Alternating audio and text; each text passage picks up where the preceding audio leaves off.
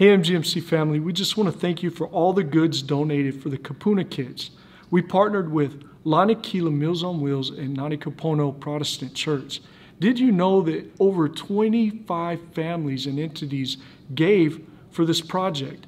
I'm so blessed and I'm so thankful that we're part of such a, a great church family that during a time of crisis, during a time when people are hoarding, you answered the call to give.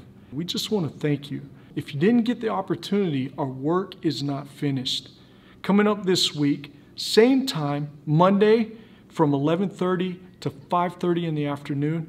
Also on Tuesday from 8:30 to 11:30 if you have goods. We're going to still be collecting. We'll be here at the church to collect. Just drop it off and we'll bring it to them. Thank you so much.